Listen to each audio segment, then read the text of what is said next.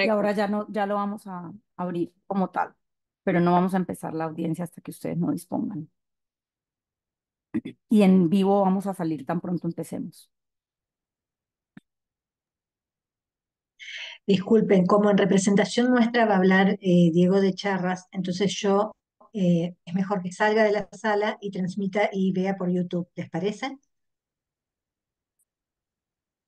Puede quedarse igual en sala. Puede igual quedarse en sala, menos que, que la comisión considere algo diferente, pues.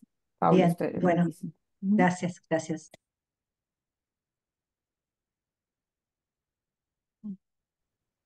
Espera, pone cámara. Buenas tardes a todos y a todos. Quisiéramos eh, solicitar algunos minutos de, de espera para poder permitir el ingreso de los funcionarios del Ministerio de Seguridad. Perfecto.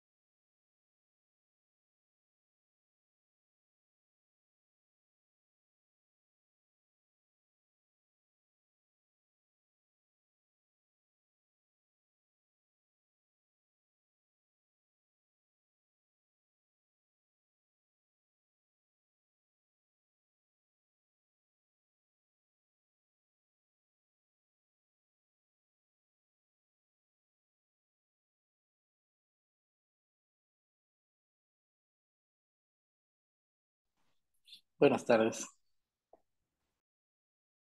Buenas tardes, comisionado. Buenas tardes.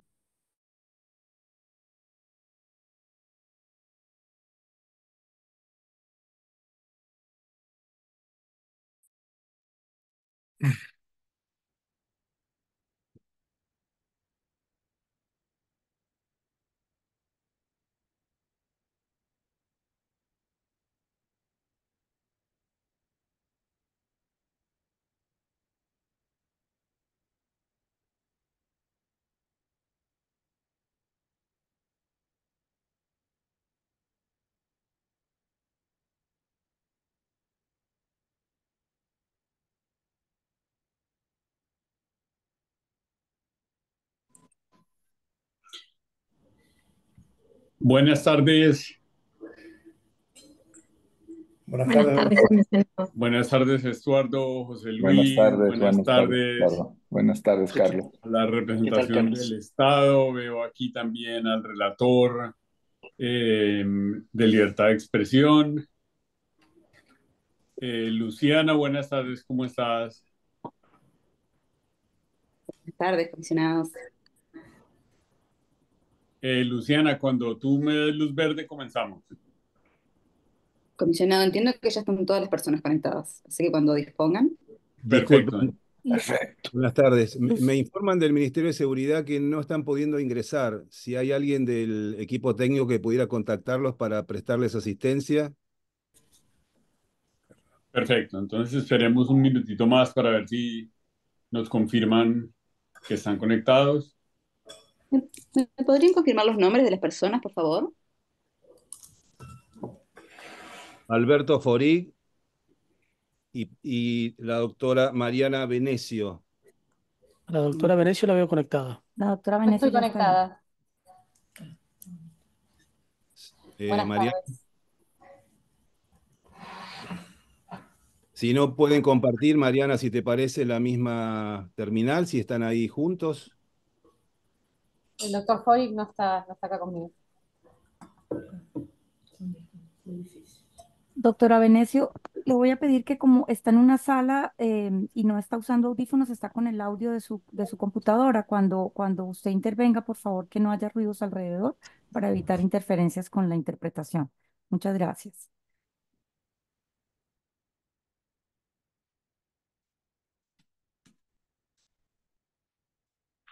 Eh, ¿Me confirmas, Luciana, cuando haya conexión con esta persona que hace falta? Sí, ahí en la nota de acreditación está el teléfono celular del doctor Forig. Si alguien de la comisión puede contactarlo para asistirlo y que pueda conectarse, por favor.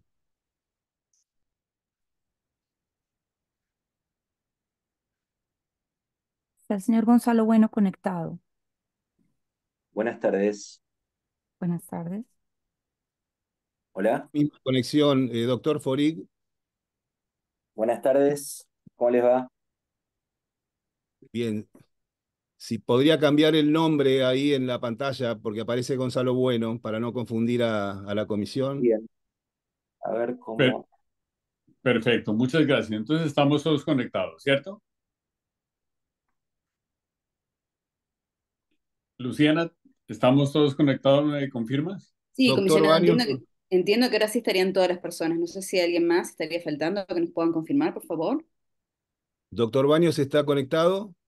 Estamos aquí observando cómo se está armando la reunión.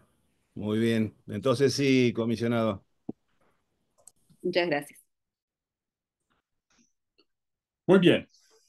Entonces, eh, mi nombre es Carlos Bernal, soy vicepresidente de la Comisión Interamericana de Derechos Humanos eh, y mediante estas palabras eh, declaro abierta la audiencia número 26 del periodo de sesiones 190 de la Comisión Interamericana de Derechos Humanos, cuyo título es Situación de la protesta social y el derecho a la libertad de expresión en Argentina tendrá una duración de dos horas eh, y, eh, perdón, de una hora y media, es decir, entre las dos y las tres y media.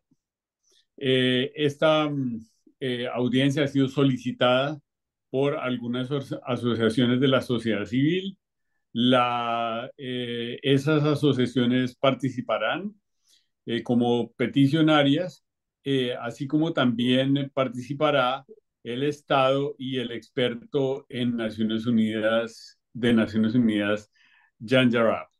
Em, la distribución del tiempo será la siguiente, otorgaré 20 minutos a la sociedad civil, 20 minutos al Estado, el experto de Naciones Unidas tendrá 7 minutos, tras ello la Comisión Interamericana tendrá 20 minutos para hacer comentarios y preguntas, luego habrá otras dos rondas eh, para, primero para la sociedad civil y para el Estado, y la comisión cerrará la sesión. Em, yo voy a ser absolutamente riguroso con el tiempo, así que les pido a las personas que intervengan que así también lo sean.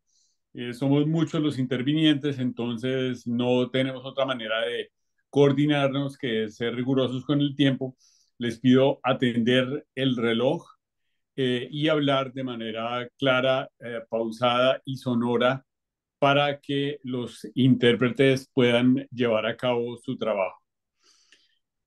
Antes de comenzar, eh, quisiera recordar que la Comisión Interamericana de Derechos Humanos celebra 65 años de trabajo comprometido con la defensa y promoción de los derechos humanos gracias al interés y pacto común de los estados y sociedades de dar vida a la Convención Americana y a la Carta Democrática. Desde 1959, cientos de personas profesionales han pasado por esta institución y miles de personas, colectivos y pueblos han acudido a la Comisión solicitando protección, justicia y reparación.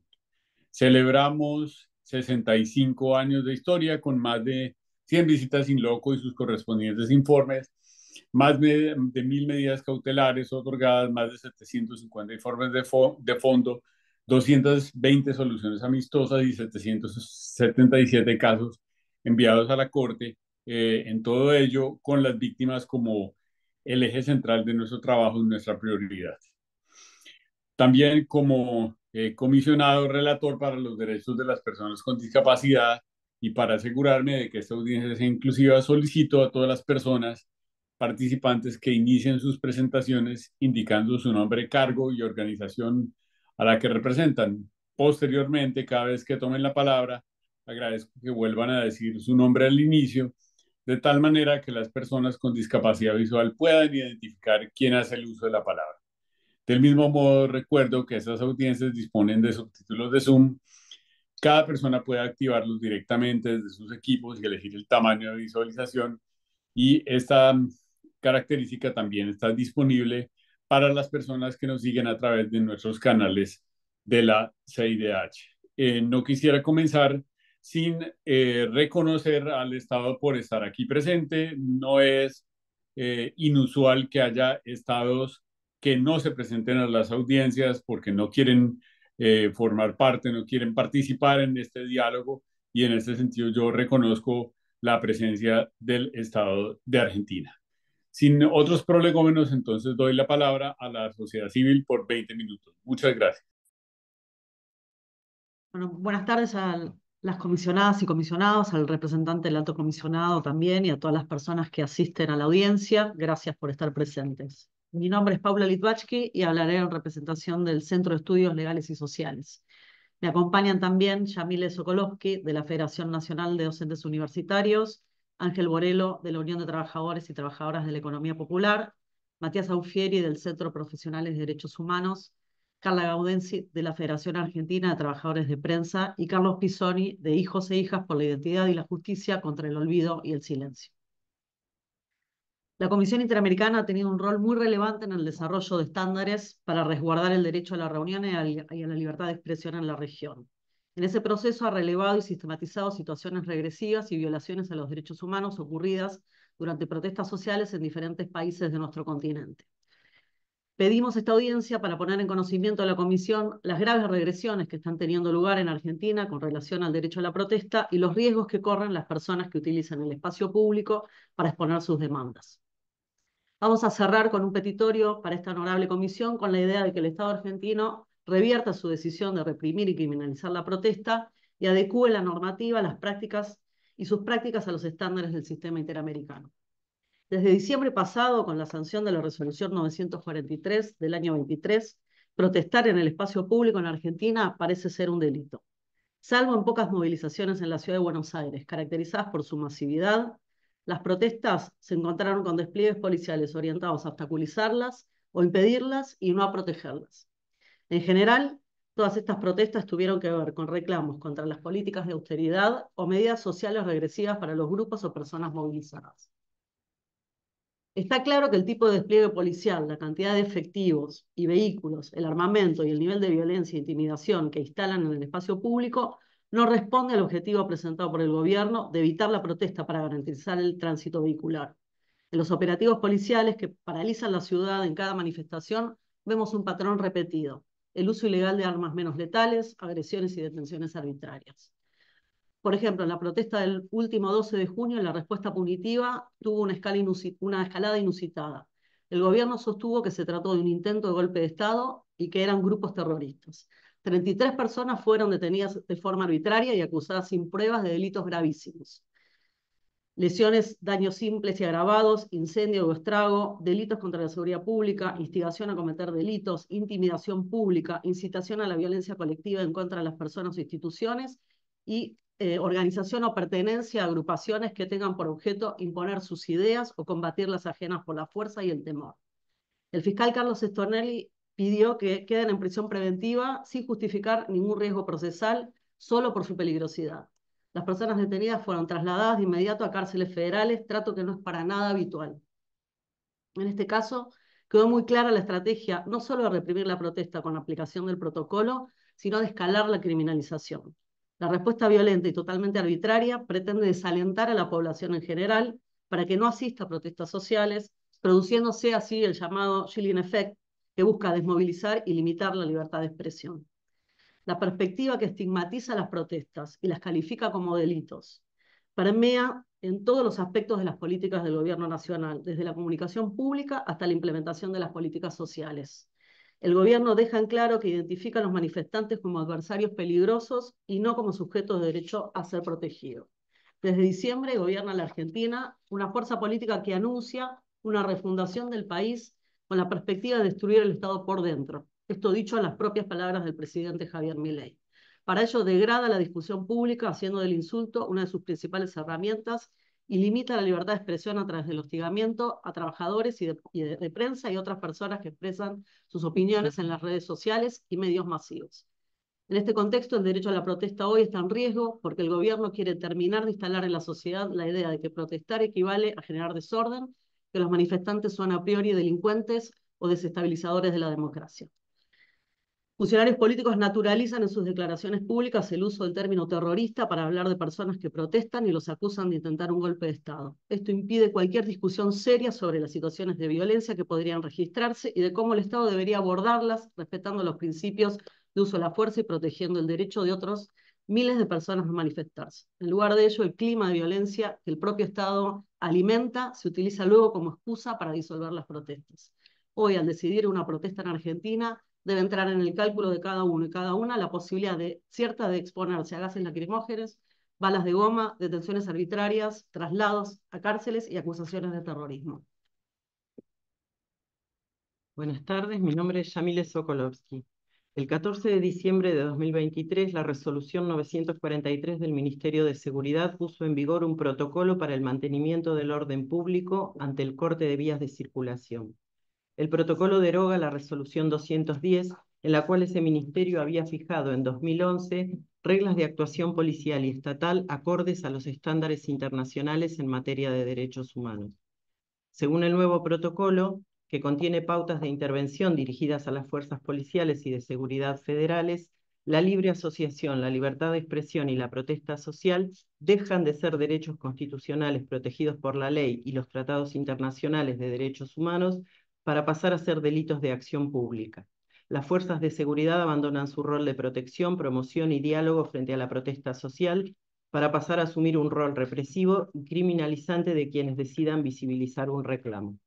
Esto implica una violación al principio de no regresividad, en tanto se pretende excluir de la protección estatal a las personas que se manifiesten públicamente y se despliegan herramientas tendientes a amedrentar y desincentivar el ejercicio del derecho a la protesta.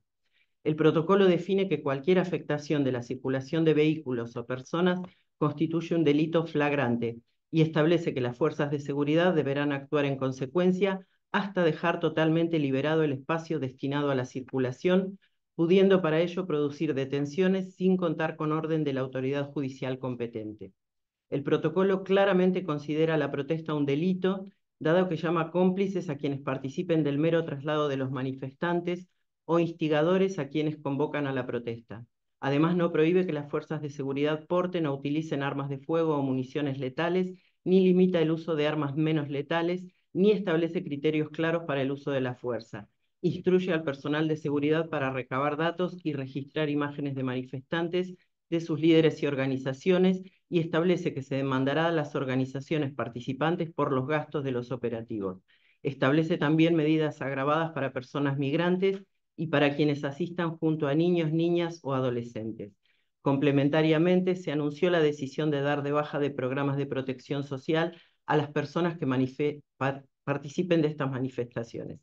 La resolución invade facultades privativas del Congreso al restringir el, alcance de derechos humanos como el derecho de reunión, petición y expresión y al modificar el alcance del Código Penal y el Código Procesal Penal, violando el principio de legalidad y la división de poderes, con el único objetivo de ampliar el derecho, el ejercicio del poder punitivo y criminalizar a los manifestantes.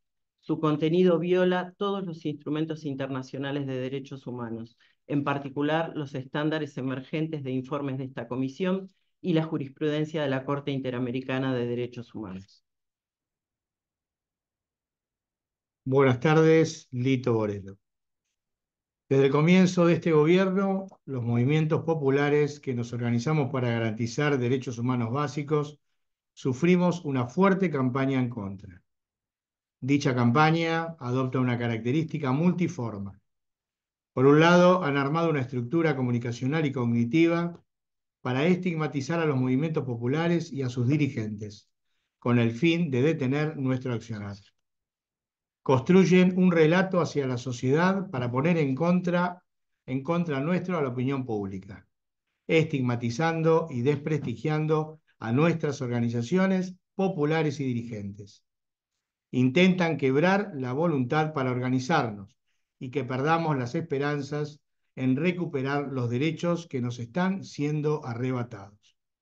De igual modo, están judicializando a las organizaciones y a sus dirigentes, haciendo un uso indebido del derecho penal con el objeto de obstaculizar, desarticular y desfinanciar a nuestras organizaciones, como son los casos donde les ponen multas que impone el Ministerio de Seguridad, donde pretenden cobrarnos los gastos que conlleva la represión.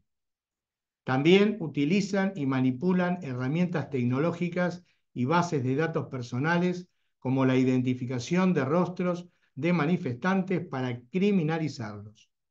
Hoy podemos hablar de más de 80 personas detenidas arbitrariamente, solo por protestar. Han recibido maltratos y apremios ilegales.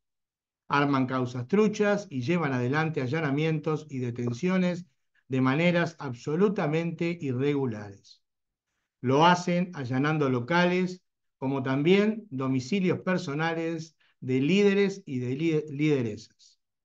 Promueven el desarrollo de una cultura del miedo y del terror para detener y silenciar las voces de la protesta que crecen día tras día.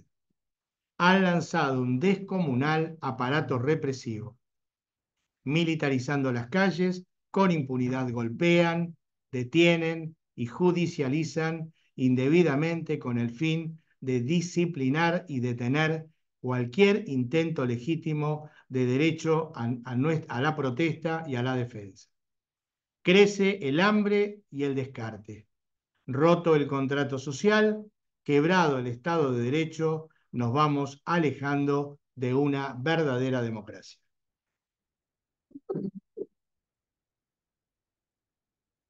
Buenas tardes, Matías Aufiri, abogado del CEPROD. En estos meses de movilizaciones se observan patrones muy preocupantes de represión a la protesta y el uso de la fuerza por parte de las fuerzas represivas del Estado, especialmente con armas comúnmente llamadas menos letales. En lo que va de este gobierno, las organizaciones que monitorean las protestas han registrado 665 personas con heridas de distinta gravedad en contextos de protesta.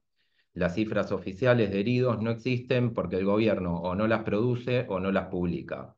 No solo hemos registrado el uso indiscriminado de agentes químicos irritantes como gases lacrimógenos y gas pimienta, en muchos casos dirigidos directamente al rostro de las manifestantes, los manifestantes, entre ellos adultos mayores, o incluso dirigidos deliberadamente contra diputados opositores, sino también un uso ilegal de balas de goma que ha causado daños irreparables a la salud. En ese marco general, tuvieron lugar las lesiones que sufrí en mi propio caso, perdiendo la visión de un ojo por el disparo de balas de goma policiales mientras relevaba el operativo represivo de las fuerzas federales durante el tratamiento de la ley bases el primero de febrero frente al Congreso de la Nación, para informar de la situación a las y los diputados del PTS en el Frente de Izquierda que se encontraban en dicha sesión legislativa. Esa represión más cruenta tuvo lugar tras horas de intentar desalojar particularmente a quienes nos encontrábamos en las veredas, con un claro patrón de disparos al rostro de los manifestantes. El momento de represión más feroz en el cual resulté herido, arrojó un saldo de centenares de manifestantes y periodistas heridos en, en, momentos en que no había confrontación alguna entre policías y manifestantes, ni tampoco interrupción alguna del tránsito, lo cual denota que la excusa de la libre circulación enunciada en la resolución 943 del Ministerio de Seguridad no es el verdadero objetivo, sino que lo es impedir toda protesta opositora. A estas particularidades se suma el intento de reformas penales por parte del Poder Ejecutivo con proyectos de ley que establecen penas gravísimas a presuntas organizaciones criminales que con la excusa de combatir hechos de inseguridad o de violencia vinculada al narcotráfico agravan una veintena de delitos del Código Penal, entre ellos el de intimidación pública, tan utilizado al momento de imputar a los manifestantes que son detenidos, con penas previstas de hasta 20 años no solo al imputado por un hecho puntual, sino a cualquier miembro de su organización por el solo hecho de integrarla. Como vimos el último 12 de junio, también frente al Congreso de la Nación, desde el Estado se decide en qué momento reprimir y dispersar las protestas para evitar así que lleguen más personas a la movilización. Son detenidos manifestantes al azar, sin pruebas, a los cuales se imputan figuras penales ya establecidas de antemano por el gobierno, como la mencionada intimidación pública y otras más graves aún en muchos casos sin siquiera brindar información en las primeras horas, acerca del lugar de detención, además del maltrato, apremios y condiciones deplorables en que la detención se desarrolla, como han denunciado numerosos manifestantes en los últimos meses. Por ejemplo, sometidos a pasar varias noches durmiendo, esposados al suelo, sin abrigo y a la intemperie. Carla Gaudensi. En este marco ha habido ataques específicos contra el colectivo de periodistas y fotoreporteros mientras cubrían las protestas. El protocolo vigente no establece ninguna protección específica sobre la labor periodística durante las protestas como lo hacía la resolución 210 del 2011. El presidente Milei y muchos funcionarios que integran el gobierno sostienen una práctica de ataque persistente a las y los periodistas, con un sesgo fuerte de género contra las mujeres, a pesar de que el Estado debe adoptar medidas de protección en casos en que las mujeres periodistas corran un riesgo especial de violencia.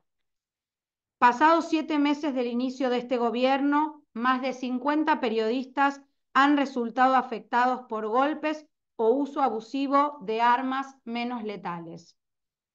En una manifestación, la ministra de Seguridad responsabilizó a los mismos trabajadores de prensa por sus heridas, acusándolos de no estar adecuadamente identificados, pese a que las imágenes registradas en ese momento prueban absolutamente lo contrario.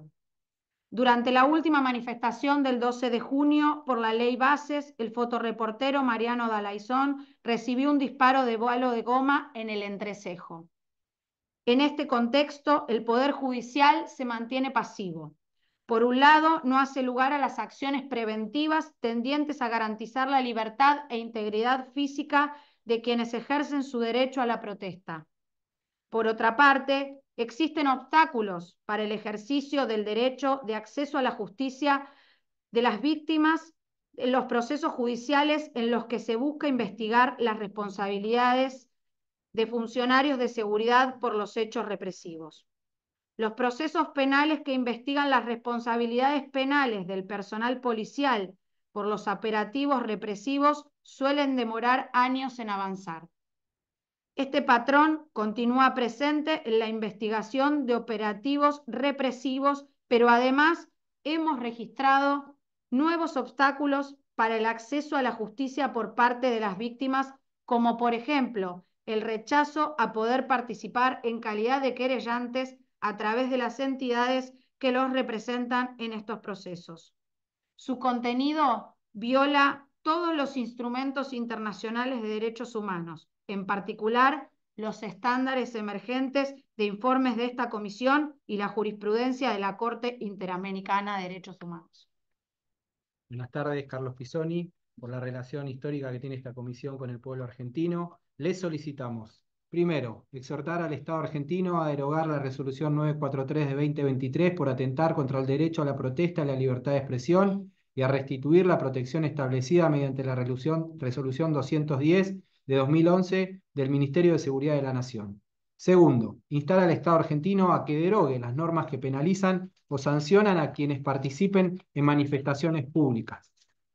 Tercero, requerir al Estado argentino abstenerse de utilizar herramientas legales como la ley antiterrorista para tipificar y perseguir a manifestantes y organizaciones sociales, sindicales y de derechos humanos por su participación en las protestas.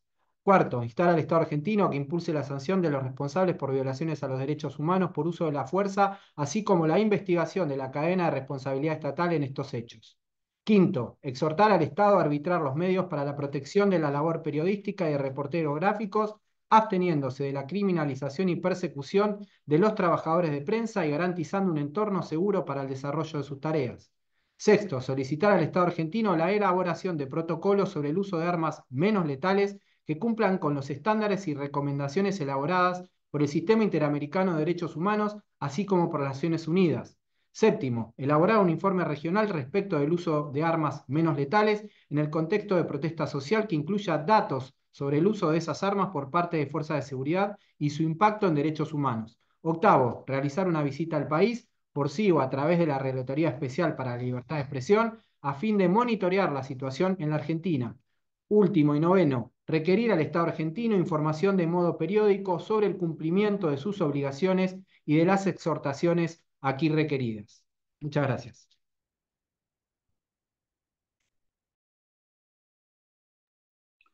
Perfecto. Muchas gracias a las organizaciones de la sociedad civil por su intervención. Y ahora quisiera dar la palabra al Estado. Muchas gracias. Buenas tardes. Muchas gracias, señor presidente. En primer lugar, queremos agradecer a esta ilustre comisión por la invitación a participar de esta audiencia pública y también a los solicitantes por las presentaciones que acabamos de escuchar.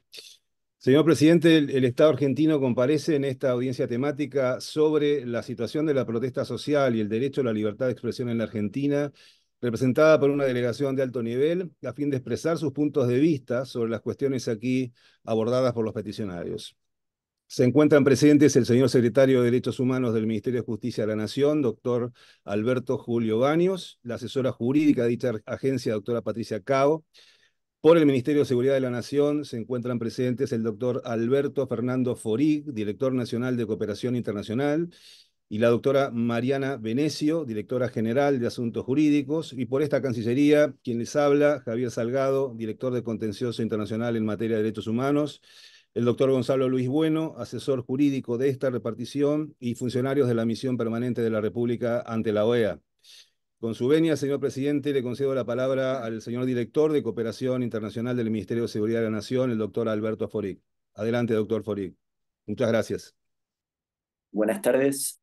Eh, el objetivo de la discusión desde el punto de vista del Estado argentino tiene que ver con que el protocolo bajo discusión, el 943, eh, intenta remediar una serie de falencias que ha tenido el sistema institucional argentino y que se han agravado notablemente en las últimas dos décadas. Eh, eh, estas deficiencias tienen que ver con el intento de alterar el funcionamiento de los poderes democráticamente electos mediante el uso de la violencia. Esto ha ocurrido en cuatro oportunidades desde 1983 en 1989, en 2001, en 2017 y en 2024. En los dos primeros casos, dos presidentes constitucionales debieron terminar antes su mandato, y en los últimos dos casos, eh, lo que se buscó mediante la violencia fue alterar el funcionamiento del Congreso de la Nación Argentina, que se encontraba bajo sesión. El modus operandi en ambos casos fue exactamente igual violencia inusitada en las calles, tratando de generar caos con incendios, con violencia, con toneladas de piedras que hirieron, en el último caso, a más de 20 miembros de las fuerzas de seguridad, eh, y con el objetivo siempre igual, de un conjunto de diputados representantes de fuerzas minoritarias que se buscan solidarizar, entre comillas, con la violencia generada por organizaciones afines a ellos mismos y así interrumpir la sesión y la deliberación del Congreso de la Nación, lo cual obviamente obstaculiza seriamente el funcionamiento democrático del país. Este modus operandi no funcionó en el 2024 habida cuenta de la acción resoluta de las fuerzas de seguridad del país. Dicho sea de paso, gracias a ello, el Congreso pudo sancionar obviamente por mayoría de ambas cámaras, la ley bases, con lo cual el objetivo de interrumpir el funcionamiento institucional en este caso no se logró. Como ustedes saben, la Argentina eh, está conformada, de acuerdo constitucionalmente, como un sistema representativo de gobierno. Eh, y el artículo 22 de nuestra Constitución Nacional establece textual, leo, el pueblo no delibera ni gobierna sino por medio de sus representantes y autoridades creadas por esta Constitución. Toda fuerza armada o reunión de personas que se atribuya los derechos del pueblo y peticione a nombre de éste comete delito de sedición. En este sentido, el gobierno representativo de la Argentina no toma como constitutivo de su funcionamiento el gobierno por medio de asambleas populares. Tercero, el corte como mecanismo de extorsión a autoridades democráticas es una práctica que obviamente, contrariamente a lo que dice la ONG eh, peticionante, no es una práctica eh, recurrente en la Argentina, entre 1916 y 1996 se totalizan 45 años de gobiernos democráticos y la cantidad de cortes de calle fue cero en ese periodo. Solamente durante el periodo 2013 en adelante se promulgó este tipo de actividades, tendiendo a generar organizaciones a partir del financiamiento por parte del Estado Nacional eh, eh, en base a la privatización de la política social y a la intermediación por parte de estas organizaciones políticas eh, en tareas que son propias del Estado Nacional y de sus políticas públicas. Para ponerles números, en el año 2003 hubo 200 cortes de calle, en el año 2022 eran, fueron 9.778 cortes y en el año 2023 fueron 8.200 cortes. El mandato popular que recibió el presidente Milei hace siete meses, votado por el 56% de los ciudadanos argentinos, llama a ordenar socialmente al país y evitar que grupos minoritarios con eh, primacías de eh, derechos intensos se atenten la capacidad de alterar el funcionamiento del sistema democrático. Estas organizaciones, además, fueron, como se dijo, fueron efectivamente eh, denunciadas porque recibió el, el Estado Nacional más de 7.000 denuncias respecto de gente que era extorsionada para participar en marchas. Esas denuncias obviamente fueron radicadas ante la justicia, la justicia avanzó en estas investigaciones y se encontraron todo tipo de atropellos a los miembros receptores de planes sociales en situaciones de pobreza. Entre ellos, el cobro de porcentajes de las asignaciones que le asigna el Estado, se secuestraron, la justicia secuestró cuadernos con registro de, beneficiarios que, cito, no comen por no ir a las marchas. Con el devenir de la causa se comprobó además que había una defraudación agravada con facturas falsas que indicaban millones de pesos en defraudación. Por lo tanto, aquí vemos el patrón, el modus operandi por el cual, en base a recursos que deben destinarse a paliar la pobreza en la Argentina, organizaciones opositoras las usan para provocar, para obligar a decenas de miles de personas a participar en organización de las marchas en las que ellos se sienten eh, legitimados. La resolución 943 se inscribe en este contexto. Es la decisión de política pública del gobierno democráticamente electo, del presidente Milei, ordenar el país. Y esto lo hace en función de normas de antiquísima data. La resolución 943 no crea derecho.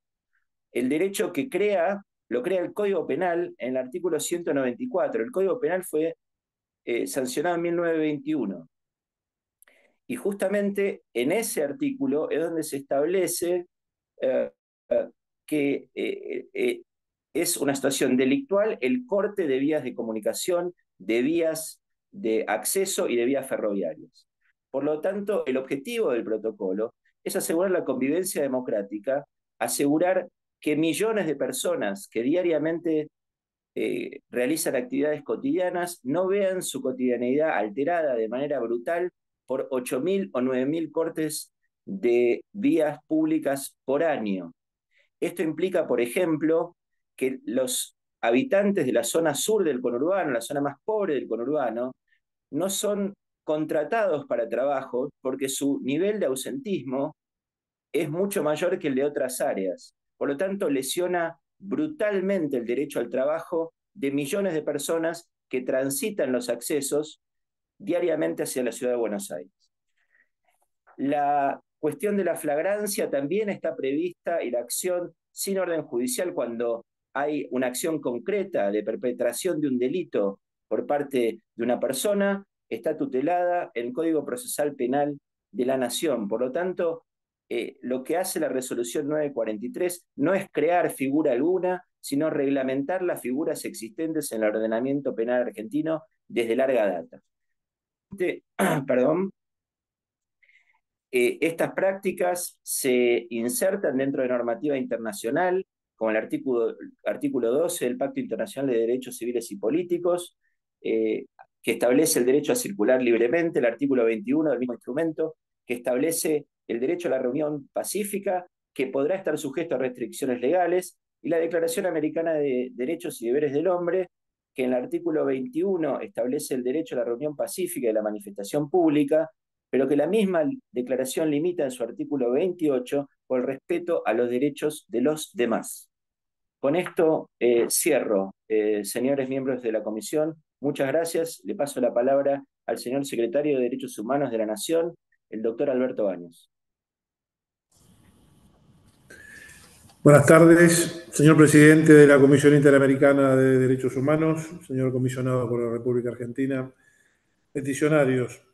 Como secretario de Derechos Humanos de la Nación, vengo a expresar el sentido de mi gobierno frente a las manifestaciones y reproches de los peticionarios acerca del comportamiento de las instituciones de la República. Precisamente en mi rol de defensor y tutor de los derechos fundamentales de los habitantes de mi país, no puedo dejar pasar tan livianamente que se interprete como un accionar doloso, un accionar disvalioso de la Administración en temas tan caros al sentir nacional como el de la libertad de expresión, la protección de la prensa, las garantías a la prensa por su rol fundamental en toda democracia.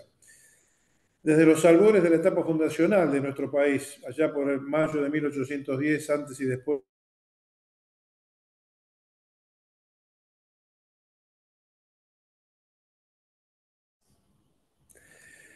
Les decía que la pluma de nuestro prócer Mariano Moreno eh, se encargó. ¿Se está escuchando?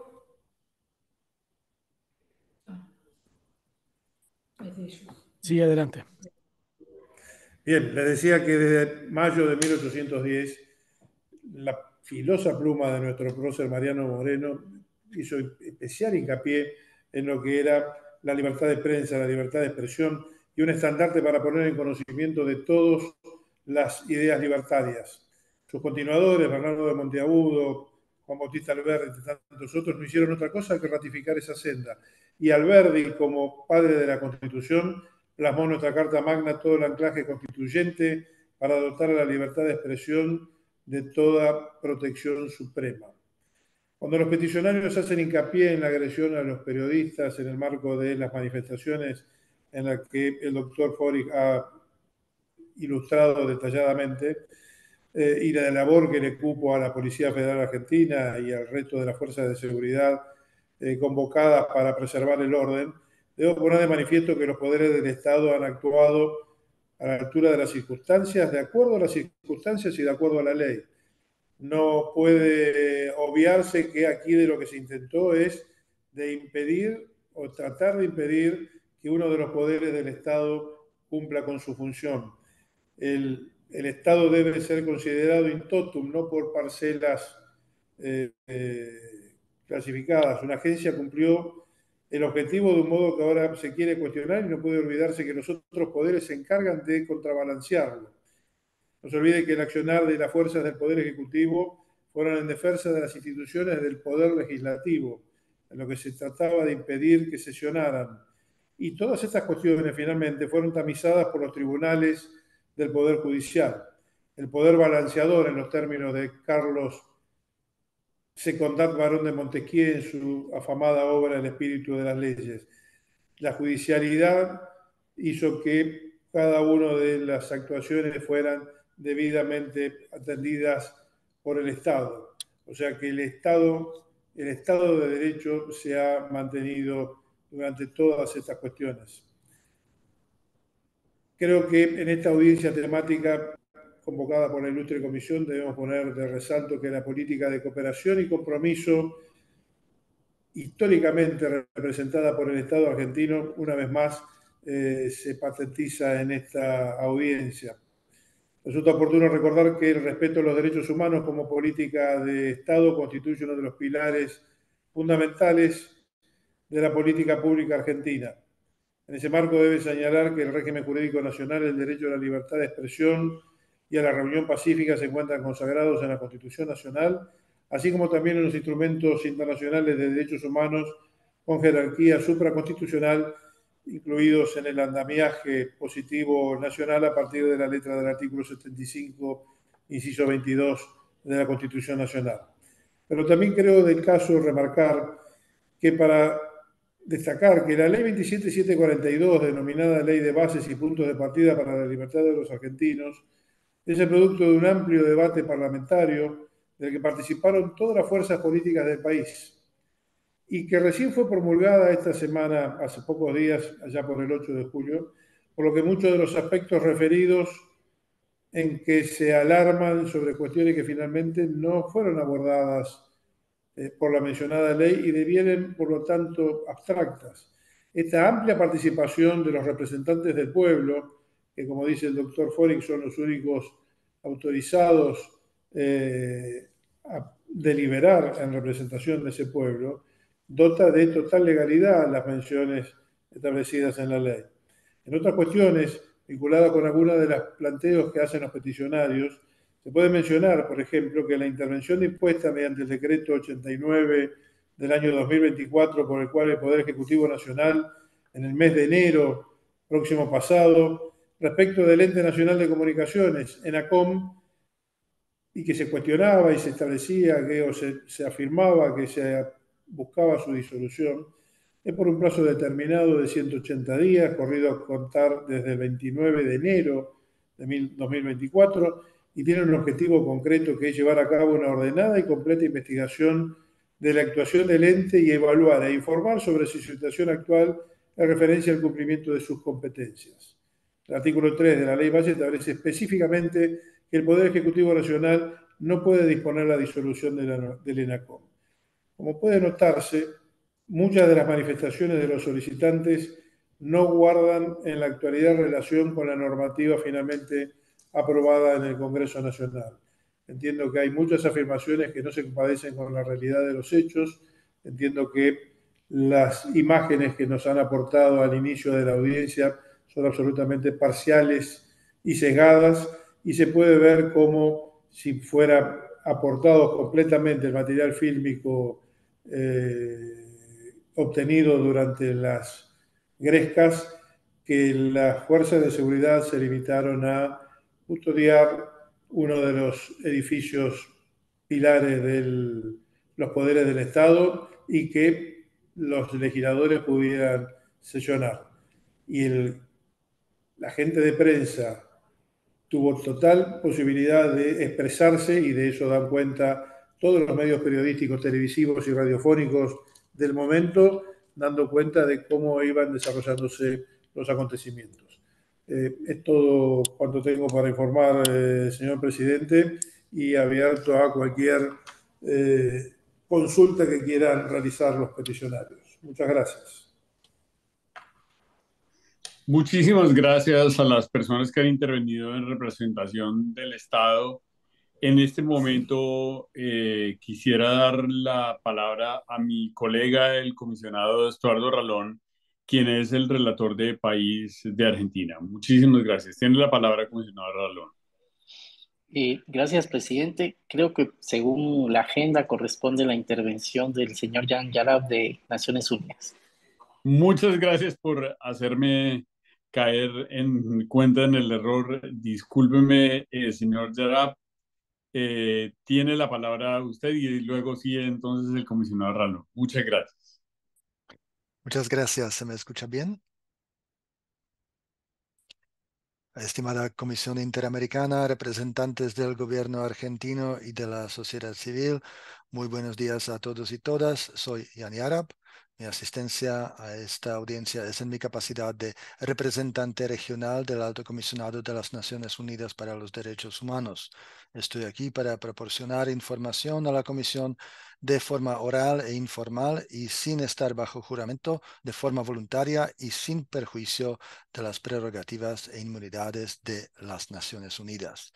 Nuestra oficina ha analizado las recientes medidas e instrumentos adoptados por el gobierno en relación con el ejercicio del derecho de reunión. En primer lugar, de, uh, se trata de la resolución uh, ya mencionada, conocida uh, como protocolo antipiquetes, la resolución del Ministerio de Seguridad número 943, instrumento que también fue motivo de preocupación expresada por parte de eh, tres relatorías especiales de las Naciones Unidas sobre el derecho a reunión pacífica y de asociación, sobre la libertad de opinión y de expresión y sobre la situación de los defensores de derechos humanos. Grosso modo, este protocolo faculta la intervención de las fuerzas de seguridad apenas surjan impedimentos al tránsito de personas o vehículos o cortes de caminos. Quisiera recordar que la observación general número 37 del Comité de Derechos Humanos, órgano de control del Pacto Internacional de Derechos Civiles y Políticos, señala que las reuniones pacíficas sí pueden causar perturbaciones, por ejemplo, a la circulación de vehículos o peatones o a la actividad económica. Los impedimentos a la circulación se constituyen como un elemento natural del ejercicio del derecho a la protesta que no pone en entredicho su protección por parte del derecho internacional. Según la Relatoría Especial sobre el Derecho a la Reunión Pacífica, si bien existen situaciones en cuales la eh, parcial restricción puede ser justificable, toda restricción tiene que ser limitada a lo estrictamente necesario, dado que este derecho es fundamental para la realización de muchos otros. La Relatoría Especial ha resaltado que el rol de las autoridades debe ser de facilitar el ejercicio de este derecho y no de restringirlo. Según la Relatoría, el derecho a la protesta debe de ser reconocido como una herramienta democrática vital importante para la conquista de otros derechos, una característica que la libertad de circulación no tiene, eh, toda vez que puede ser fácilmente compatibilizada con el ejercicio del derecho a la reunión, por ejemplo, a través de identificación de vías de circulación alternativas. Igualmente, según el Comité de Derechos Humanos, la mera interrupción de actividades diarias no constituye violencia y no habilita por sí solas la dispersión y la actuación de las fuerzas de seguridad. Asimismo, resaltaría la importancia de proteger la libertad de expresión como el derecho de estar de acuerdo o no con las medidas que adoptan los estados y poder expresarlas sin temor a represalias. En cuanto a la aplicación del protocolo antipiquetes, la información recibida apunta eh, a que esta ha sido caracterizada por falta de criterios claros. Por ejemplo, la información recibida respecto de los hechos eh, del 12 eh, de junio dio cuenta de la aplicación del protocolo en contra de manifestantes pacíficos con el objetivo de dispersar la reunión y impedir que las personas se apercibieran en el lugar. Asimismo, la oficina ha recibido información sobre el uso de la fuerza excesivo que no sería acorde a las recién publicadas guías para el uso de armas menos letales como los gases lacrimógenos, incluido el pimienta, y las mal llamadas balas de goma, munición compuesta principalmente por metal y cuyo uso indebido, como ya se demostró en otros países de la región, puede generar lesiones graves como, por ejemplo, daño ocular. Preocupa también la estigmatización. Eh, como señala la mencionada observación general número 37 del Comité de Derechos Humanos, la existencia de hechos violentos individuales no justifica tratar a la reunión en su conjunto como violenta.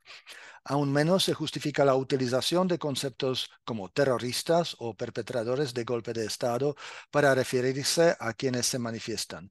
Me uno en este contexto a las preocupaciones expresadas hace unos días por la propia CIDH y su Relatoría para la Libertad de Expresión. Al respecto, vale recordar que la Relatoría Especial sobre Derechos Humanos en el contexto de la lucha contra el terrorismo ha insistido que no se debe identificar como terrorismo a otras conductas, aunque delictivas, que no cumplen con los criterios internacionalmente reconocidos, y menos aún conductas que ni siquiera constituyen delitos. Otro elemento a señalar es el uso del derecho penal en el contexto de protestas sociales. La oficina recibió información de la detención eh, de al menos 33 personas durante las protestas del 12 de junio, sobre las que el fiscal de la causa habría solicitado la prisión preventiva sin presentar pruebas ni fundamentos sólidos que sostuvieron tal solicitud. Se habría dictado la falta de mérito de la detención de al menos 28 de las personas detenidas. Además, genera preocupaciones sobre la independencia de fiscales y jueces el hecho de que se habrían presentado para sustentar esta medida las declaraciones del Poder Ejecutivo en redes sociales. Y por último, quisiera relevar a esta comisión la preocupación de la oficina sobre la disposición eh, contenida en el protocolo antipiquetes artículo 11 que permite demandar judicialmente a quienes resulten responsables por los costos operativos en los que incurran las fuerzas de seguridad, disposición que ya ha sido aplicada en varias ocasiones. En conjunto con las otras medidas, esta puede ser vista como un fuerte desincentivo para quienes tienen intención de ejercer su legítimo derecho a la manifestación. Me despido recordando que nuestra oficina está disponible para continuar cooperando con el Estado y con esta comisión en la implementación de medidas legales y prácticas que garanticen el ejercicio del derecho de reunión pacífica. Muchas gracias por su atención. Muchísimas gracias, señor Derab. Y ahora sí, entonces, en esta ronda de intervenciones de la Comisión Interamericana de Derechos Humanos, quisiera en primer lugar dar la palabra al comisionado relator de país, eh, mi colega y amigo Estuardo Ralón. Muchas gracias. Adelante, comisionado Ralón. Muchas gracias, presidente. Muy buenas tardes. Estuardo Ralón, comisionado, relator para Argentina. Quisiera inicialmente agradecer la presencia de todas las personas en esta audiencia, tanto sociedad civil como el Estado. Sin duda alguna, este instrumento eh, de audiencias y especialmente en el marco de periodo de sesiones que tiene la comisión, pues permite el poder escuchar de primera mano pues las preocupaciones, las denuncias, las peticiones eh, que tiene la sociedad civil y los comentarios eh, y reacciones del Estado a las mismas. Quisiera empezar mencionando que efectivamente con relación al tema de la protesta y al último, digamos, momento al cual se han referido en esta audiencia cuando se estaba discutiendo la aprobación de la ley de bases, eh, la Comisión Interamericana y la Relatoría de Libertad de Expresión emitieron un comunicado conjunto el 4 de julio de 2024. La posición institucional y lo que refrenda el comunicado conjunto es manifestar preocupación por las denuncias de uso desproporcionado de fuerza pública contra personas que participaron en las protestas pacíficas y contra periodistas este comunicado también manifiesta preocupación por actos de violencia cometidos por particulares. En el comunicado, eh, la comisión hace un llamado, y hago referencia a él porque ha sido también parte de las peticiones de la sociedad civil, un llamado a que se puedan garantizar y respetar los derechos de libertad de expresión, de asociación, de reunión pacífica y a cumplir los estándares interamericanos sobre uso excepcional de la fuerza pública. Y acá eh, hago mi primera pregunta al Estado, que cuando tenga los minutos pudiera comentarnos si actualmente cuáles son eh, los protocolos que utiliza o que cuenta, eh, digamos, la fuerza antidisturbios cuando se presenta, es decir, en qué momento se activa y qué protocolos son los que utilizan para saber pues bajo qué estándares eh, reglamentarios y normativos tienen que actuar las fuerzas de seguridad. Por otro lado, el comunicado también eh, manifestó eh, preocupación por declaraciones que pudiesen ser, ya sea en redes sociales o en algún medio, estigmatizantes en contra de los manifestantes, que pudieran haber autoridades de gobierno que estigmaticen y señalen y pretendan de decir que se está actuando en términos generales al margen de la ley. esta situación también le pregunto al Estado sobre efectivamente cuáles han sido las situaciones en las que el Estado se ha referido a, a lo que se ha vivido en el contexto de las protestas, porque la información que nosotros hemos recopilado en monitoreo es que son eh, señalamientos generalizados donde no se distingue entre personas que puedan estar participando en una manifestación pacífica y en una protesta, de otras personas que pudieran estar al margen de la protesta generando hechos de violencia ilícitos al margen de la ley. De hecho, el comunicado eh, recuerda en un párrafo que leo a continuación que es deber del Estado individualizar a los actores violentos, diferenciándolos de aquellos que ejercen legítimamente su derecho de protesta. Esta distinción es crucial porque por un lado permite proteger el derecho de protesta y también permite que el Estado cumpla con su función de proteger la seguridad del orden público y los derechos de todas las personas, sean que participen o no participen en la protesta. Acá pregunto también en estos incidentes si nos pudieran describir y pregunto a la sociedad civil y también al Estado, ¿qué ocurrió en esos hechos violentos donde se dio cuenta, también información que nuestro monitoreo tuvo acceso de que pudo haber uso de gasolina, de bombas Molotov, de quemas de un vehículo. Eh, hubo grupos infiltrados, hubo situaciones de violencia al margen de la protesta pacífica. Me gustaría poder escuchar de ambas partes sobre estos incidentes que causaron lesiones y daño a la propiedad pública y privada, qué fue lo que que realmente ocurrió, precisamente para eh, tratar de distinguir entre un derecho de protesta y los actos de violencia. Eh, por otro lado, eh, quisiera también indicar que mm, hay una situación que es la normativa que se menciona coloquialmente como antipiquetes.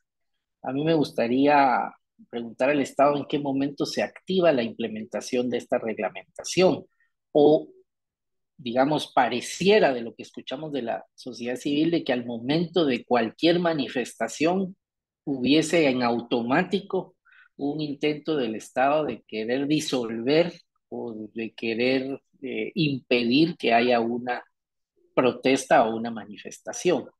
¿Cuál es la situación el día de hoy y le pregunto a ambas partes, ¿se sale a protestar e inmediatamente se activa eh, un intento de disolver la protesta o existe algún protocolo o algún umbral o alguna manera en la cual se pueda decir que este protocolo sí respeta pues el enfoque de eh, un uso de acuerdo a los criterios de necesidad, de proporcionalidad y de legalidad.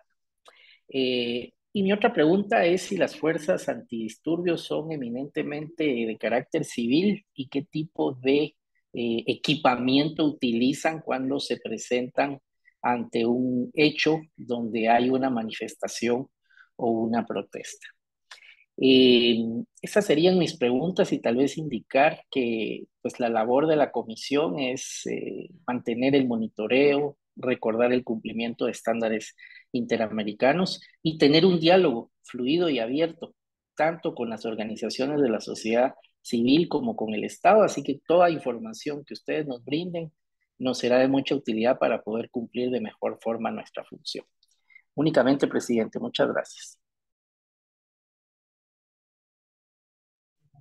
Muchísimas gracias, comisionado Ralón. Ahora quisiera dar eh, la palabra a mi colega el comisionado José Luis Caballero. Gracias, presidente José Luis Caballero, segundo vicepresidente y relator para defensoras y defensores de derechos humanos.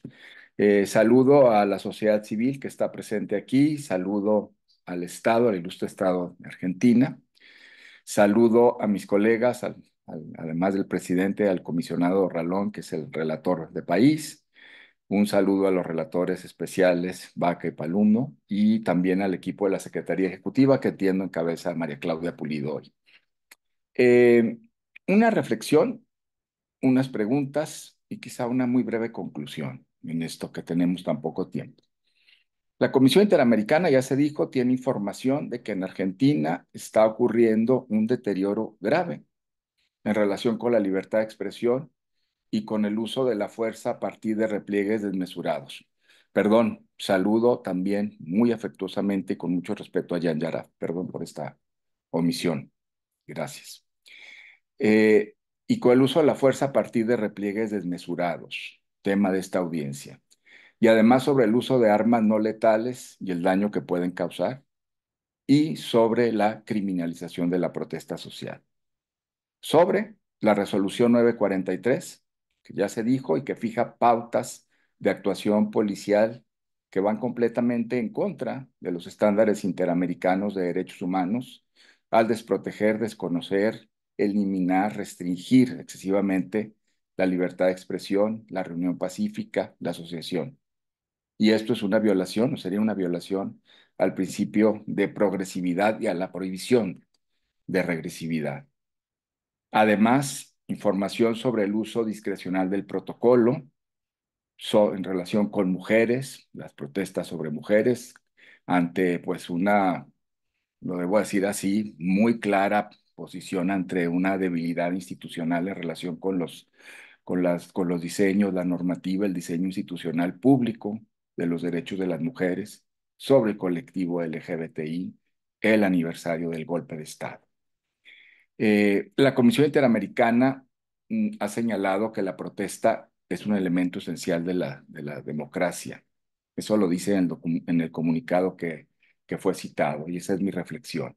Pero además la protesta está estrechamente vinculada a la promoción y defensa de la democracia, no a su disminución. Es un falso dilema decir esto. La, Corte Interamericana ha dicho que no es solo un ejercicio de un derecho, la protesta, sino es defensa de la democracia. De igual manera, los estados, además de respetar, de fortalecer la protesta social, de permitirla, deben establecer mecanismos de control sobre uso de la fuerza y tienen la obligación de establecer protocolos sobre adecuación de estándares. Eso es muy importante en todos los casos de los protocolos, lo dijo la Corte Interamericana en un caso señero sobre, sobre violencia del Estado en protestas, el caso Aten. Pero también eh, es una experiencia propia porque la Comisión Interamericana ha establecido mecanismos muy importantes en, con dos países que tuvieron un alto nivel de protesta social, eh, Colombia y Chile con el estallido social del año 19-20. Y ahí se establecieron esos criterios. Con base en esto, hago las siguientes preguntas.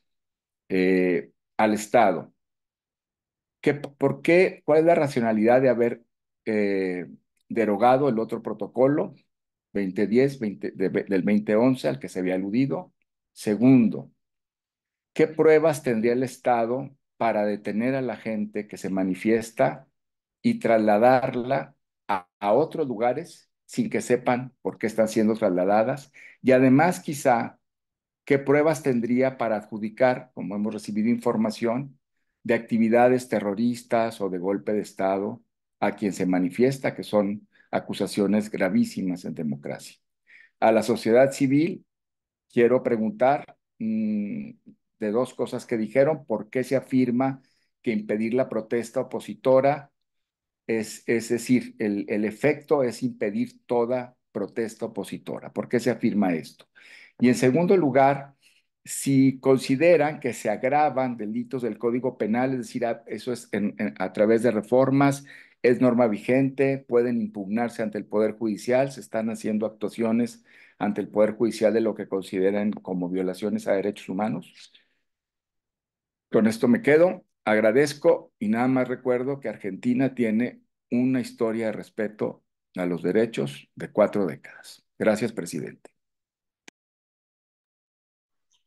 Muchísimas gracias, eh, comisionado Caballero. Ahora quisiera dar la palabra a la secretaria adjunta de monitoreo, eh, María Claudia Pulido. Muchísimas gracias, señor vicepresidente. Eh, primero solamente saludar al honorable delegación del Estado y a las organizaciones de la sociedad civil y agradecer toda la información que nos han brindado. Yo sé que está aquí el relator para la libertad de expresión que va a profundizar en diferentes temas, pero solamente a manera de información indicar que hemos desde la Secretaría Ejecutiva se ha apoyado a la Relatoría de País en el monitoreo de situación de derechos humanos en Argentina y particularmente en las situaciones que se han dado en contextos de conflictividad social a través de todos sus mecanismos, eh, pronunciamientos, comunicados de prensa, eh, em, esta misma audiencia, pero también eh, mediante solicitudes de información precisas al Estado que aprovechamos para saludar y agradecer la información que nos ha suministrado.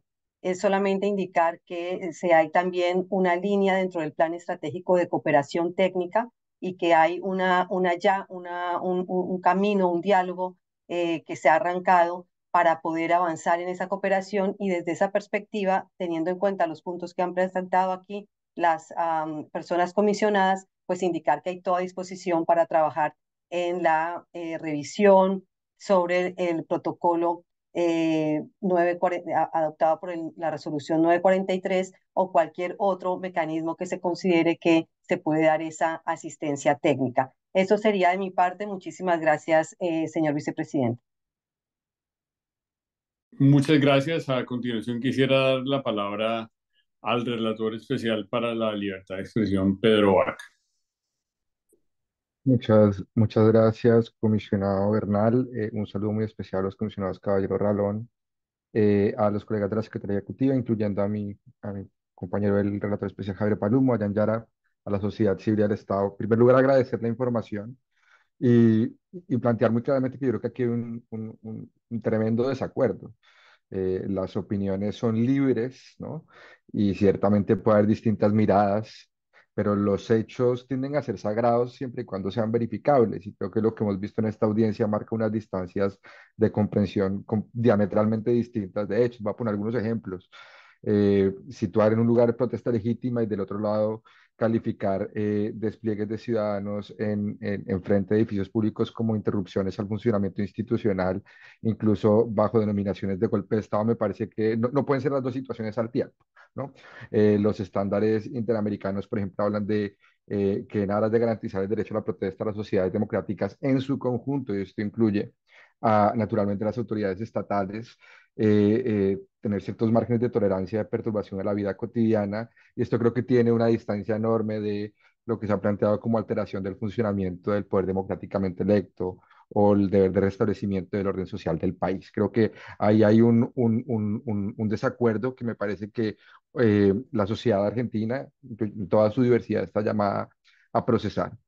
Eh, creo que eh, de ahí me surge una pregunta y, va dirigida al Estado y es eh, protesta social, el derecho de reunión pacífica de asociación, libertad de expresión, cuenta con estándares interamericanos y, y, ciertamente ha habido unos cambios promovidos desde el gobierno. Yo quisiera preguntar cuál es el lugar que le da el gobierno actual a los estándares interamericanos desarrollados a la hora, por ejemplo, de impulsar reformas y en este sentido, digamos, digamos también facilitar las, las condiciones para que la propia experiencia de la comisión pueda servir a, a, a, la situación actual del país y también a los distintos niveles de comprensión sobre el alcance de, de este derecho.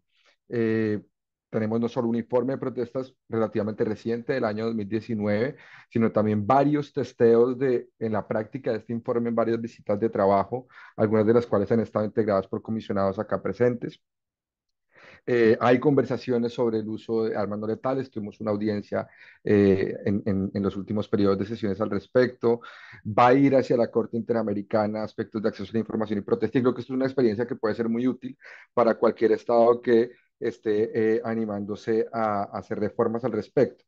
Y, y, y, tener en cuenta que el protocolo derogado ciertamente era un protocolo que tenía buenas valoraciones por parte de la comunidad internacional, incluyendo la oficina que dirijo, concretamente aquí me eh, tenía una muy buena apreciación del protocolo derogado. Entonces, no deja de ser, digamos, de cierta manera confuso que un protocolo que tiene, eh, digamos, buenas credenciales y, de, aceptación de la comunidad internacional especializada sea derogado por otro que empieza a tener esta serie de, de cuestionamientos. Eh, dos últimos puntos. Eh, eh, el primero tiene que ver, la, la, primera salida que le da el sistema interamericano a, a eventos de protesta es el diálogo. Y yo un poco quisiera consultar a las dos partes cómo están las condiciones de diálogo entre personas que protestan y el Estado como uno de los cuantos destinatarios que, que, que pueden ser de, de, las protestas.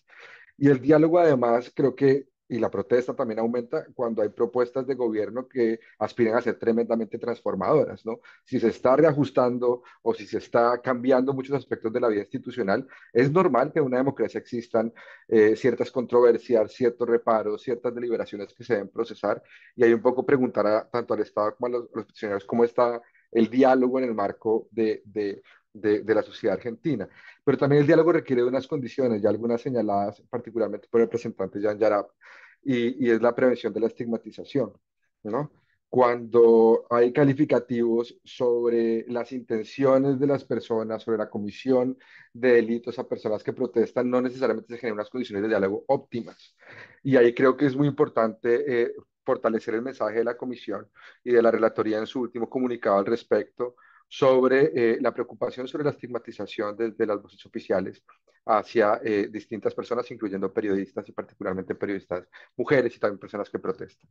Eh, un último punto, se, se, se, se, planteó entre el petitorio de la sociedad civil la posibilidad de una visita. Yo creo que ante, digamos, aproximaciones tan distantes de hechos que deben ser verificables, eh, la posibilidad de una visita de la relatoría creo que puede estar en, en, el radar y también me animaría a preguntar en este mismo escenario, particularmente al Estado, si tendría alguna objeción con que esto se pudiera empezar a dialogar. Muchas gracias. Muchas gracias, eh, relator Vaca. El tiempo de la comisión se ha acabado, pero si el relator Redesca Javier Palomo eh, quisiera decir tres frases, le daría tiempo para tres o cuatro frases. Muchas gracias, comisionado vicepresidente Bernal Pulido. Eh, saludo a todos y a todas.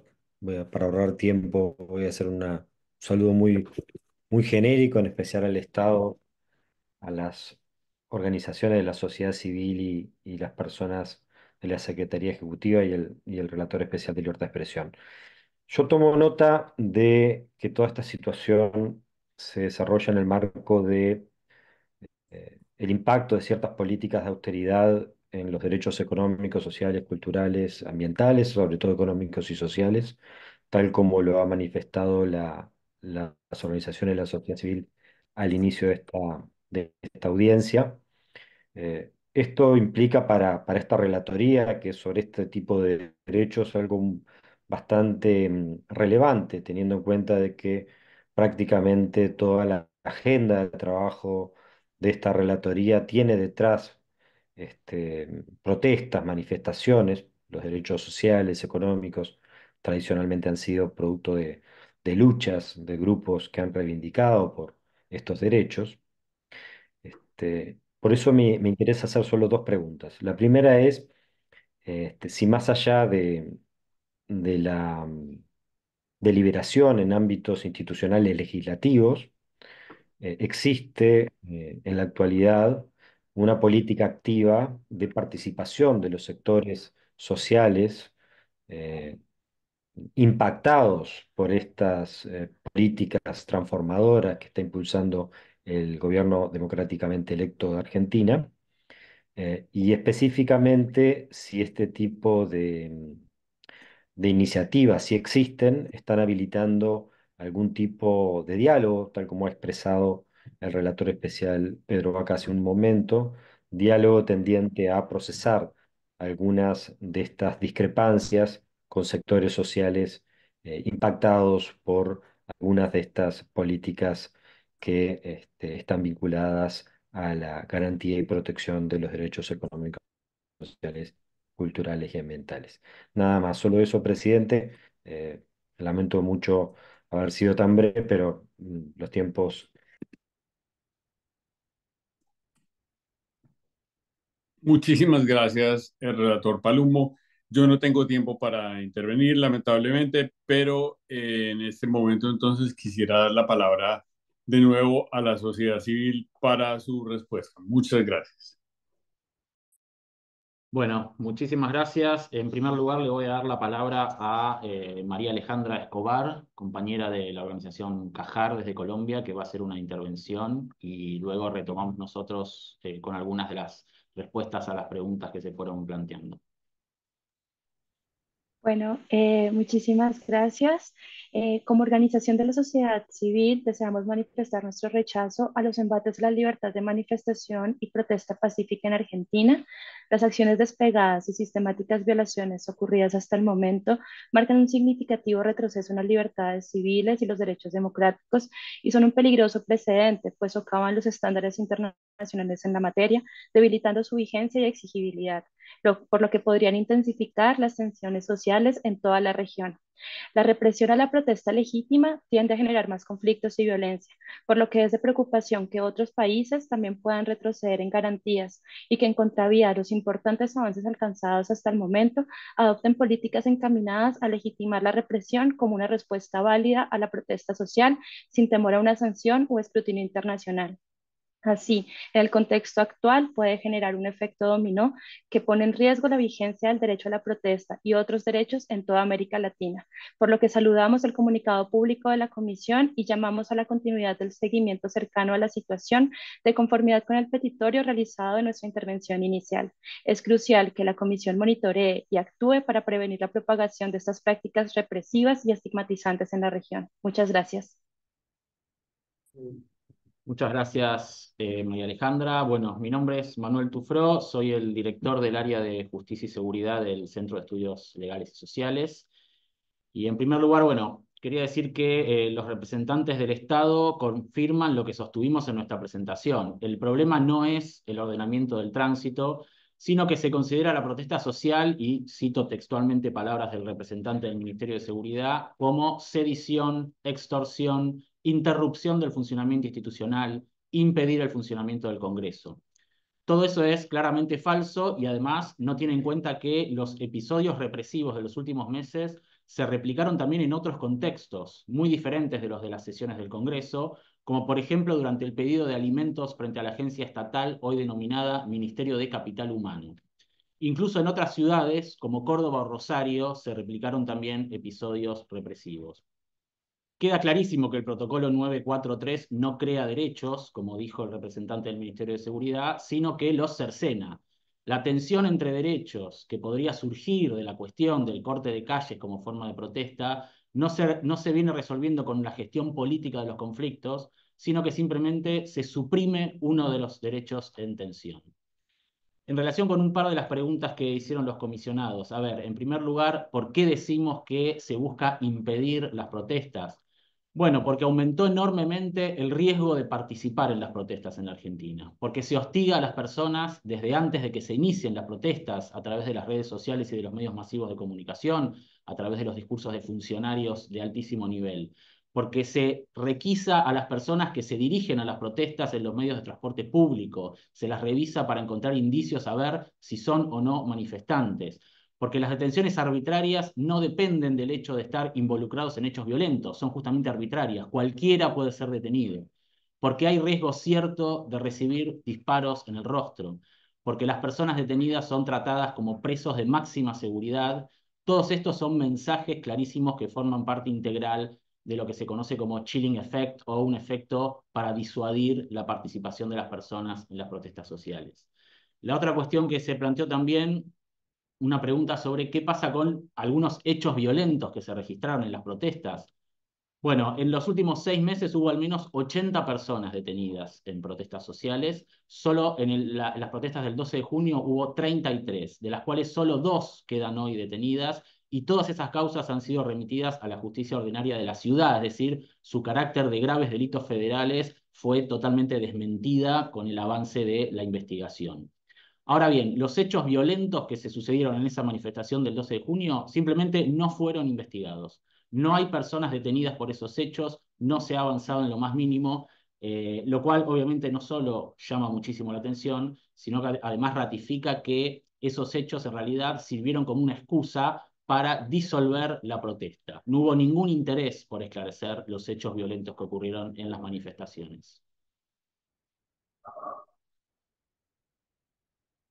Buenas tardes, mi nombre es Diego de Charras, soy estoy en representación de la Red de Carreras Universitarias de Comunicación y Periodismo de la Argentina.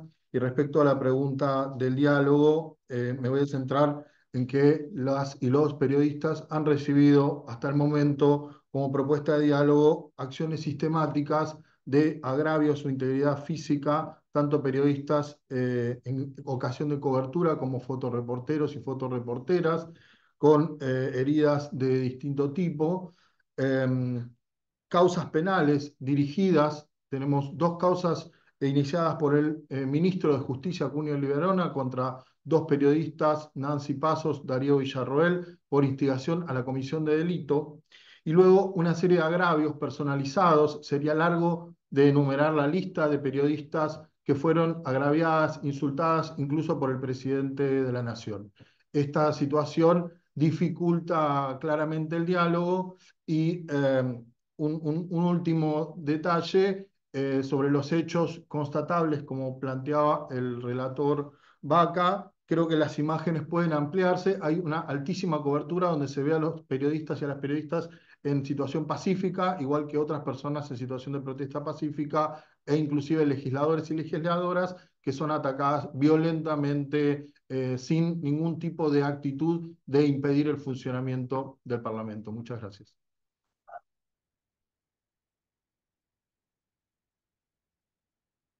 Buenas tardes, mi nombre es Damián Loretti, soy secretario de la Comisión Directiva del Centro de Estudios Legales y Sociales. Ampliando algunas consideraciones de lo que se dijo recién en términos de eh, situaciones de contexto, la resolución que instaura el protocolo sí se aparta del principio de legalidad formal estricta, sí se aparta del principio del fin legítimo, porque la protesta, de acuerdo a lo que dicen los estándares, debe ser especialmente protegida. Esto lo dice el informe del 2009, lo dicen varios fallos de la Corte Interamericana, los dos últimos contra Brasil son categóricos al respecto. Es absolutamente desproporcionada la reacción del protocolo al punto tal que genera consecuencias que no tienen absolutamente nada que ver ni con el tránsito, ni con la preservación de la democracia, como es la persecución a las organizaciones o el retiro de ayuda social. En materia de situación de periodismo, quisiera agregar que la Argentina cuenta por primera vez en la historia con la denegación de una acreditación de una periodista en casa de gobierno y con las afirmaciones de que ojalá un medio de comunicación quiebre. Eso es discurso público del Estado que no ha sido desmentido en ningún momento. El protocolo ha sido utilizado en otros lugares, como mencionaba, mencionaba recién mi compañero, y eso motivó intimaciones efectivas por carta documento oficial firmado por un funcionario del Ministerio de Seguridad reclamando altísimos montos de modo solidario a las organizaciones que convocaron a la protesta.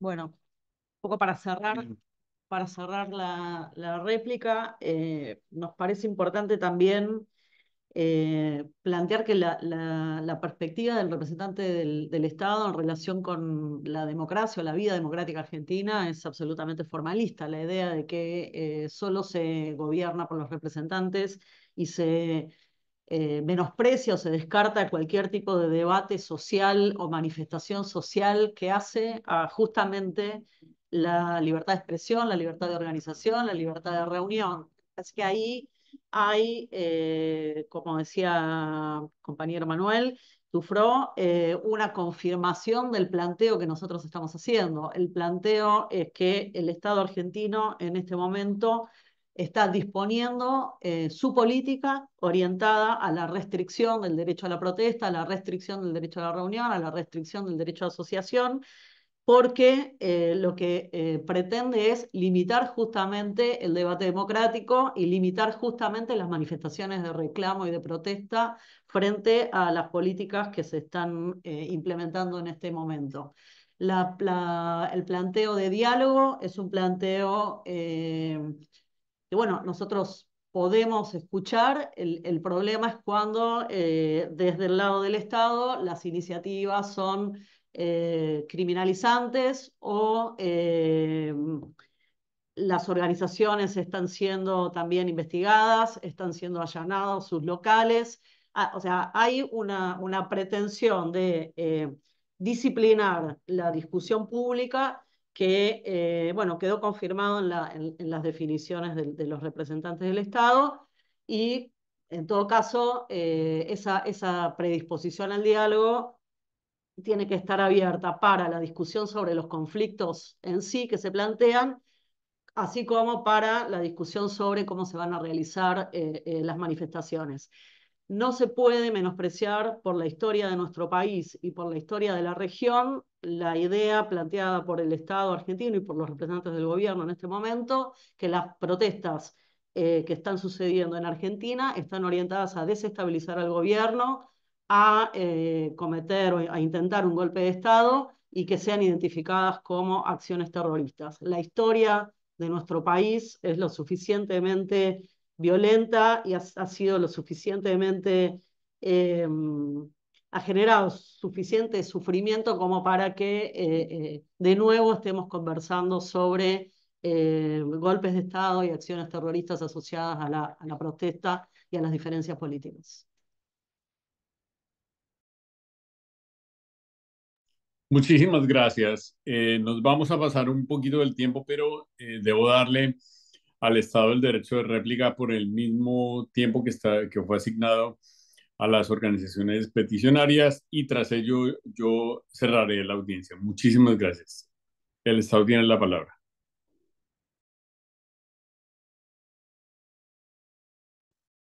Muchas gracias.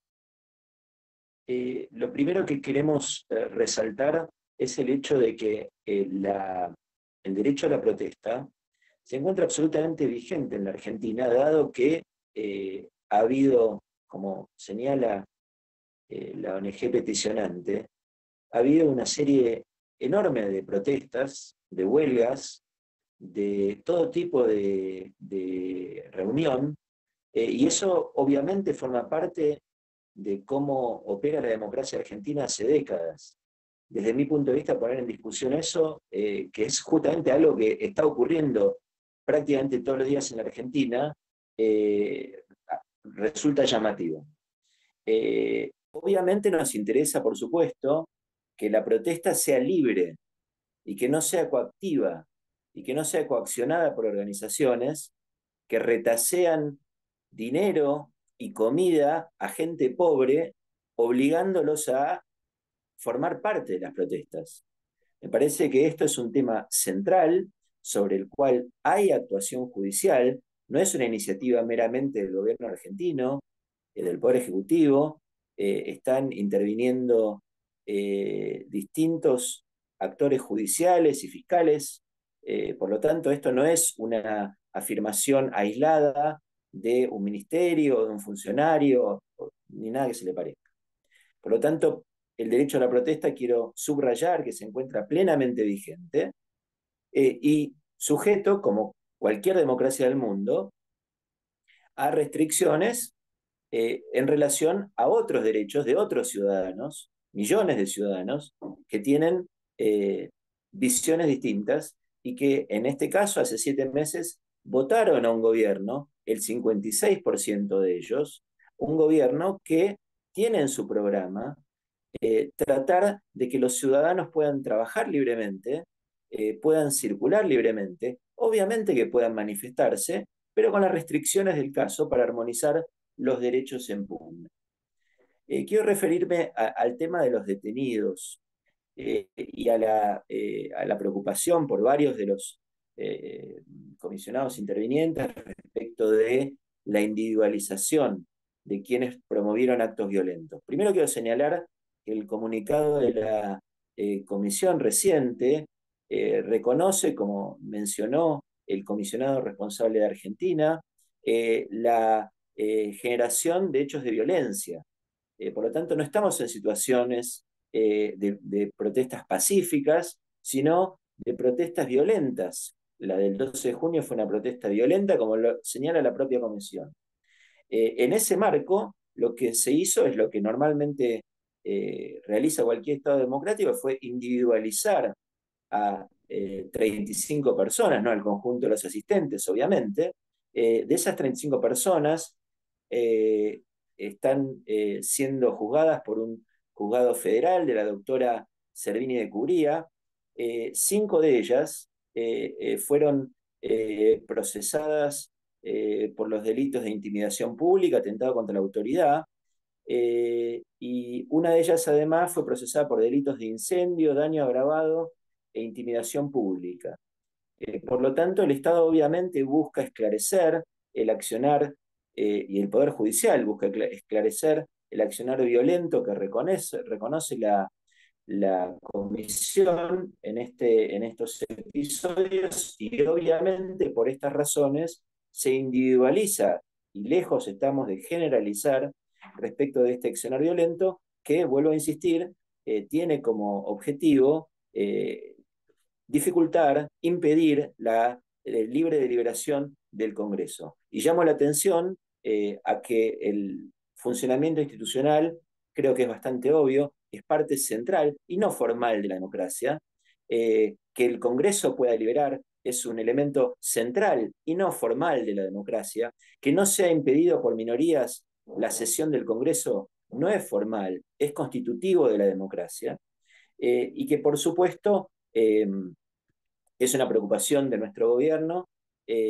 preservar el normal funcionamiento de las instituciones democráticas, eh, donde obviamente hay representantes de todo el arco político.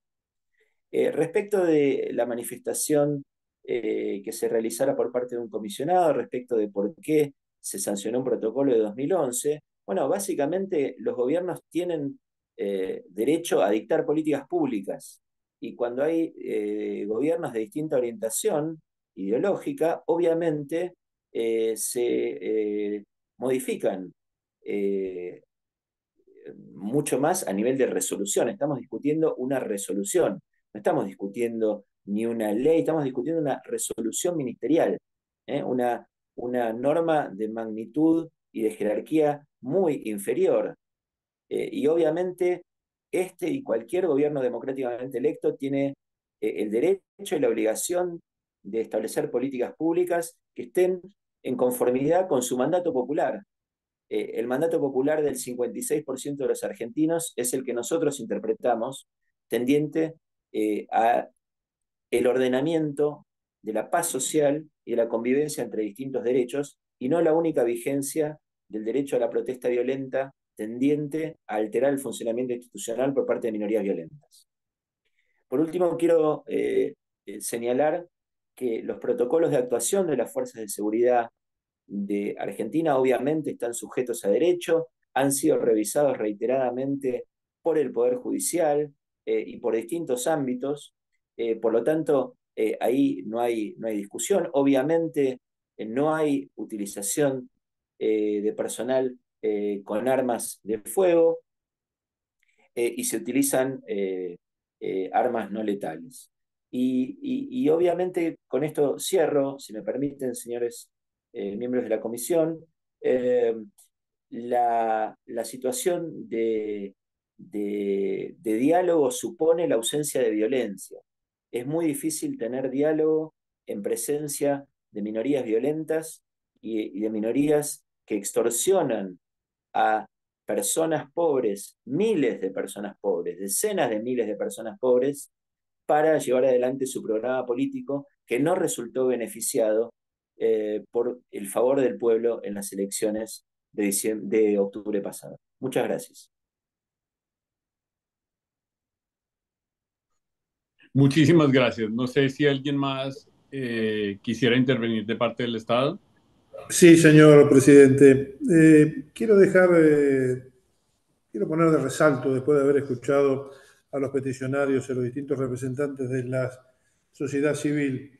Eh, aquí lo que tiene que tenerse en cuenta, hay que tener especialmente en consideración que el Estado debe proteger a los demás ciudadanos, a todos los ciudadanos, de las afectaciones que puedan producirse con las protestas, las afectaciones a bienes públicos, el libre, el libre deambular de la gente.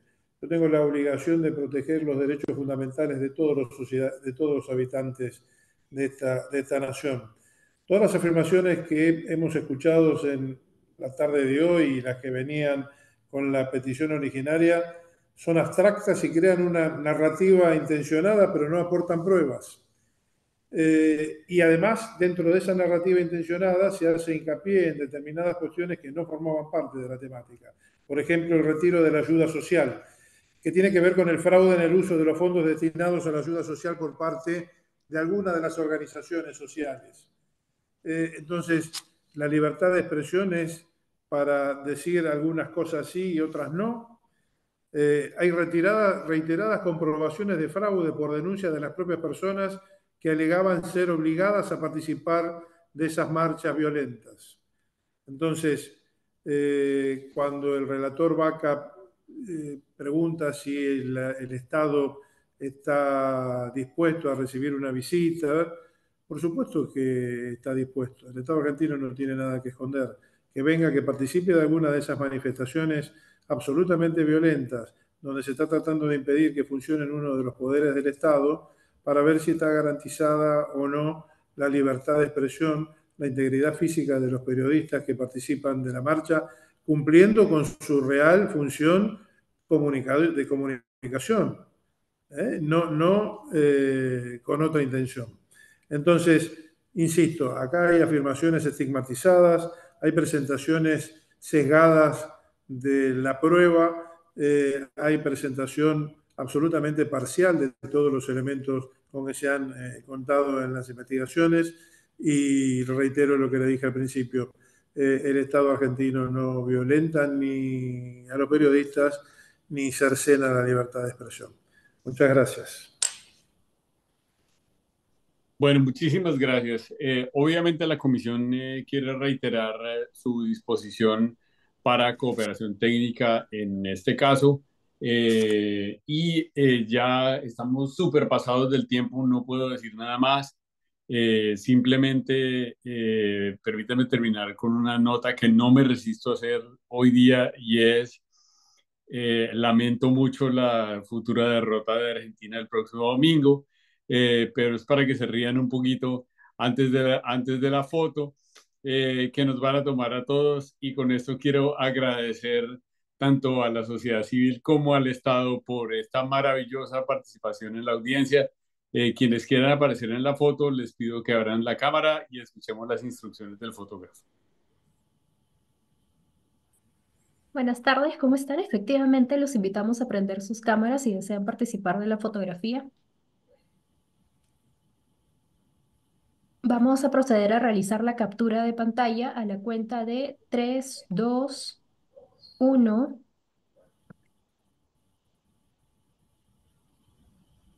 Perfecto, muchas gracias. Bueno, muchas gracias a todos por estar aquí y gracias por este diálogo constructivo muy importante. Hasta luego. Gracias. Un saludo. Buenas tardes. Buenas tardes. Buenas tardes. Buenas tardes. Gracias, Fer, cerramos.